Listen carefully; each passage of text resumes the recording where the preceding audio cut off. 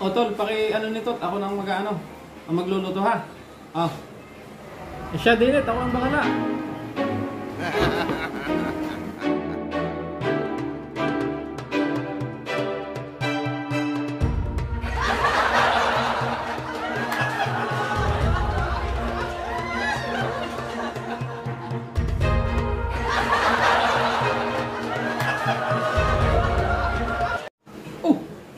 Bakit yan ang ginagawa mo?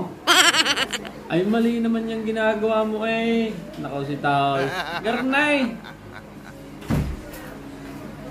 Yan!